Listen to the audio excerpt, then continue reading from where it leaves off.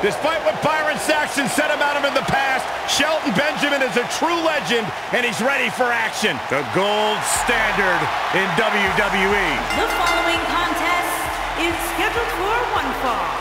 Making his way to the ring from Orangeburg, South Carolina, weighing in at 248 pounds, Shelton This is incredible. Benjamin. Part of that famed early 2000s class from Ohio Valley Wrestling. Shelton came up with guys like Brock Lesnar, Batista, Randy Orton, John Cena. What a treat for the NXT universe.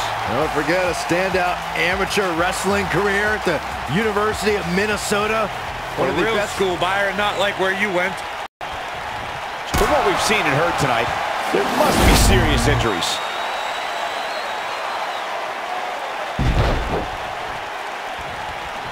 This match has been and a brutal face buster. Just when you thought he had nothing left.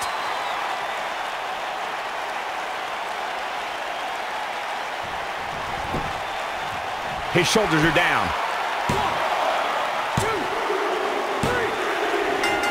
Yes! Unreal performance.